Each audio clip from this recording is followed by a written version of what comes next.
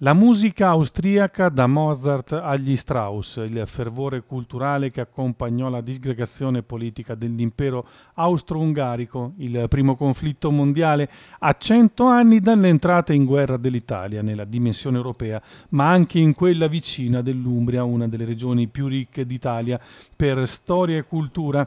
sono solo alcune delle molteplici prospettive culturali che animeranno la 48esima edizione del Festival delle Nazioni nei 15 concerti ed eventi del cartellone principale in programma dal 25 agosto al 5 settembre a Città di Castello. Sotto il segno dell'Austria, la nazione ospite del 2015, il festival conferma l'attenzione per il repertorio ma anche per la più stringente contemporaneità con nuove produzioni prime esecuzioni assolute e con la presenza di giovani talenti accanto agli artisti di prestigio internazionale.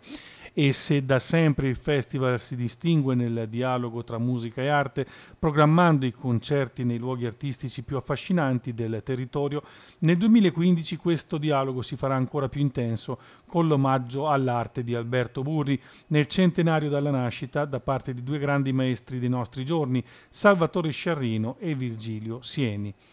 Il nostro scopo è proporre buona musica, ma cerchiamo anche di collegare la proposta artistica a un motivo di attualità per renderla più viva, ha dichiarato il presidente Giuliano Giubilei. Per questo, ad esempio, in occasione dei 150 anni dell'unità, abbiamo dedicato un'edizione speciale all'Italia e nel 2013 abbiamo intestato il festival non a un solo paese, ma a tutta l'Europa. Per l'edizione 2015 la scelta è caduta sull'Austria, un paese ricco di storia e con un patrimonio musicale straordinario.